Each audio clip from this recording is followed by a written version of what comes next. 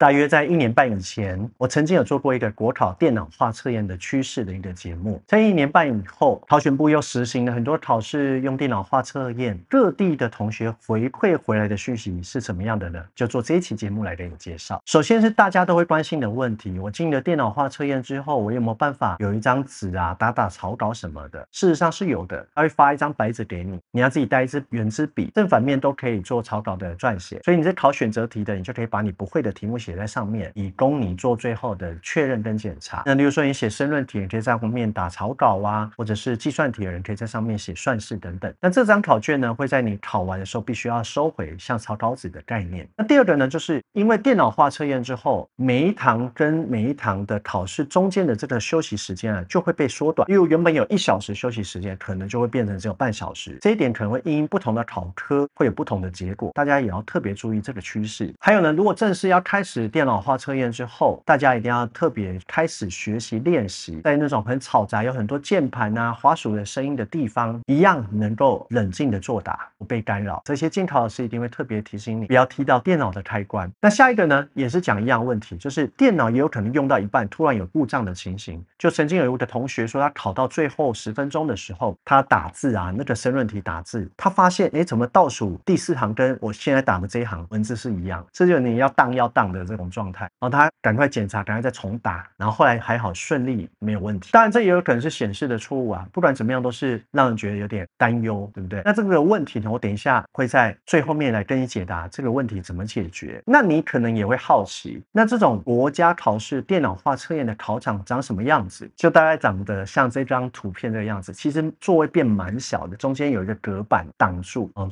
还有一个好玩的地方是，就是当你在考第一场的时候，它会给你两个选项，只有在第一堂才会出现哦。你是不是要在每一节考试结束的时候就显示成绩？就你考完那科，它就公布成绩，还是你要在全部考完之后再公布所有的成绩？你可以在考试的第一堂考试之前做选择，不能再变更哦。但我就有点好奇，因为没有人分享这个问题的是，申论题也会立即呈现成绩吗？这我不太确定。但我相信选择题要做到，并不是有太大的困难哦，所以这个部分也值得大家去注意。在我们在考选择题，有一些补习班会做一些建议，就是呢，他很贴心的呢，在选择题的下面提供了这样的一个服务，你可以在上面标三角、标圈圈、标蓝色，然后后面也可以依照这个题号你做的不同的标记呢，再回去做作答、做检查。啊，这有点像我们用的阿摩测验那个概念，可以做标记哦，这个功能算是现在技能检定测验很标配的一个功能。那么有一些补习班就会建议你啦，例如说哦，三角形呢可能是百分之八十会对，这个人是百分之五十，这可能是百分之三十等等。那我给大家的建议是，不要那么复杂，千万不要那么复杂，用一种标记就好。我建议就用红色这个就好，只要是你不确定或者不确定可不可以答对的，一律用这个标记。甚至你已经猜下去，也不用标记了，标记代表你等一下要回来仔细再想一想这一题，你才做标记嘛。所以我觉得这个部分大家要去思考，你要怎么利用这个机制。再来，大家最关心的是国考的考试，既然改成电脑化测验，那打字的输入法有什么？有没有我想要用的五项米啊？目前公告就是微软它内建这五个，还有这两个五虾米跟自然输入法都是考场必备的七种输入法。但至于就是说仓颉到底是四码还是两码，五五虾米能不能打减码，这个我觉得就是你不能期待它用的是更进阶的版本，你只能期待它用的是一个比较普罗大众都可以用的版本。所以你必须都要做练习。所以我们来看一下申论题线上作答常见的问答。第一个问题，请问国考申论题线上作答预计推动为什么要推动？你要打算怎么推动？怎么这样逐步的实施？这边有讲哈。第一阶段呢是用纯文字电脑作答啊，然后并且呢选一些考科开始来进行。第二阶段呢就是会规划呢用手写板啊、智慧笔等等的方式来输入。但是我觉得这个东西有点怪啦，我认为比较合适的方式还是用打字的。毕竟现在大家在公部门办公都是用电脑打字写公文、公务为主。好，第二题，我对电脑有恐惧，请问一定要用电脑来参加国考吗？啊，那他要讲到都是用电脑以维持公平啊。如果说有些特殊的应考人，如果说他想要申请，我就是要纸笔，那也要写出原因嘛，他可能会答应你。那如果我是左撇子怎么办？会不太一样哦，怎么办呢？他说你只要事前申请注明，他就依照你的申请符合需求之后，他就会帮你用左手，他会符合你的左手键盘啊，左手的使用方式，左手滑鼠等等，就会提供给你。这个我们刚刚有讲到，就是说总共有七种的输入法啊。目前有越来越多的考场都已经开放可以了，上网可以查，很多都有。那这边有讲到啊，我有没有可能会被改答案？这一题很有趣，所以意思就是说我打字打一打，答案会不会不一样？他这边有讲，这也解答了说，万一电脑宕机怎么解决？或者我用的这台电脑刚好就坏掉，那我们是不是就很衰？那我们要换电脑怎么做？这样他这边有讲到这个线上的考试过程，预设每十秒会自动储存，其实这跟技能检定的几乎是一样的设定哦，会自动储存你的作答结果，然后你点上一题下一题或跳其他题号的时候，它也会储存哦，避免作答结果遗失或遭篡改，所以它有自动不断记录还原的功能哦。然后呢，也会完全保留你的作答轨迹、作答时间、作答内容、网络 IP、座号等资讯。就是像我讲的原先，像我这一题，我先换到二十五题，我当然又换到二十四题，又换到二三题，然后又换到申论题第一题，它这所有都会有作答的轨迹。所以你害怕了，你就是常常按上一题下一题，按存档，或者是每隔十秒自动存档。万一你突然打字打到一半宕机，你赶快换另外一台电脑，你一样登录一样有你刚刚作答的答案，不会遗失。所以你踢到电脑的话，我想就是会损失它重新开机要重新进系统登录的时间。好，你看这个一样问题啊，就是作答的考试过程中遇到宕机会怎么样？哦，他说有预备充足的座位，你可以重新登录别的座位就继续作答。因为呢，他们作答同时储存在不同主机两套资料库双重保全的措施下，所以不会因为宕机消失，而且会记录最后一次伺服器的通讯状况，就算是停电也都可以补足这个时间。好，所以今天这一期节目就是跟你分享说，目前啊整个国考的电脑化测验的一个实施的一个情况，还有大家回报回来的一个阶段性的会诊，希望未来如果全面开放电脑化的应试的时候，每个人都能够顺利的应考，早点练习打字。那么我也会针对打打字这个部分，另外做一期节目跟你分享。谢谢你收看，我们下期见。